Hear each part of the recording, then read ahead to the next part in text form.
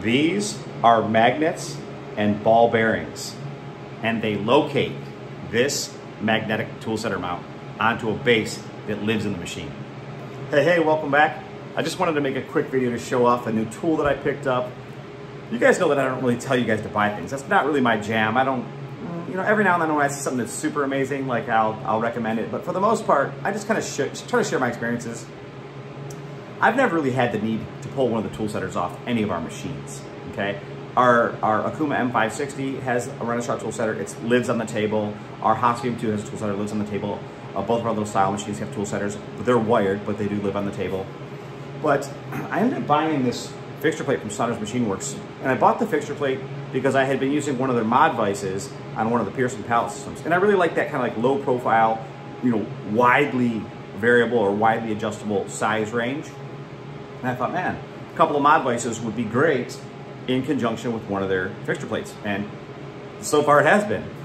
But one of the challenges is that when you're cutting a large flat part that's like close to the maximum you know, work envelope of the machine, is that a face mill and it, you know a lot of other you know end mills, they get close to the tool setter or could collide, could very easily collide with the tool setter.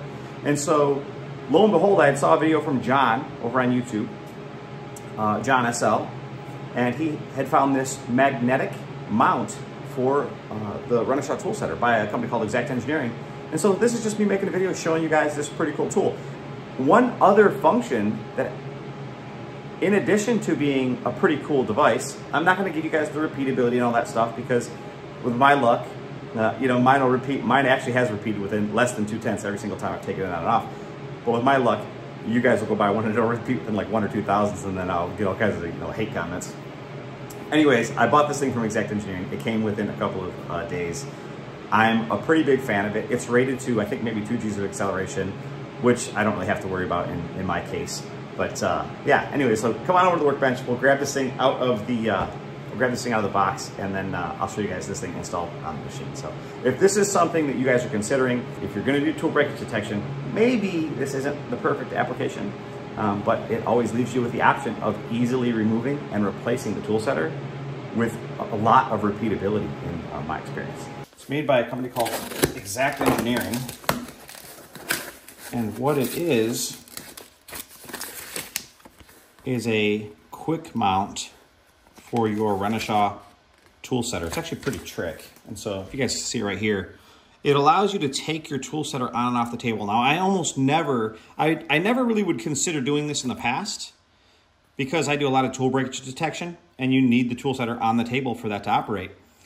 But with the new Saunders Machine Works fixture plate that I purchased, we really, uh, we really need the space for working on some of the low profile parts that are on the mod vise. So here, look like we have, it looks like there's a, a bolt with some magnets that come with this.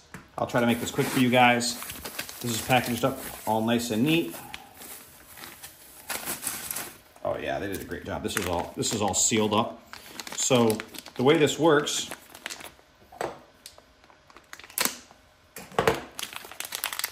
the way this works is this is a magnetic base. I'm sorry, this the way this works is that there's this base plate right here that has these chamfered holes that have these round pins and this is a chip guard that's turned out a piece of Delrin that prevents magnets from building up on the base. And this is kind of the magic right here. What really sold me on this setup was that uh, I didn't realize that optics were actually used and mounted in this, uh, this way. But what you have, I'm struggling here.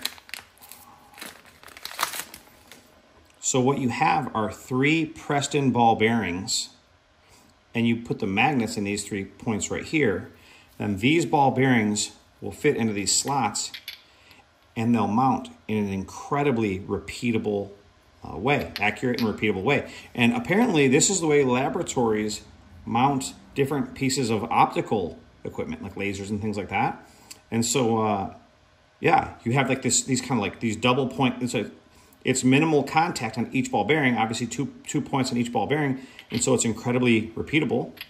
And then since you obviously are gonna have magnets in this top side to hold this whole operation together, you buy this chip guard that they sell separately, and then it protects you from getting chips into the system. So that's it. So now all I have to do is take a few minutes and get this base mounted onto here and then mounted onto here.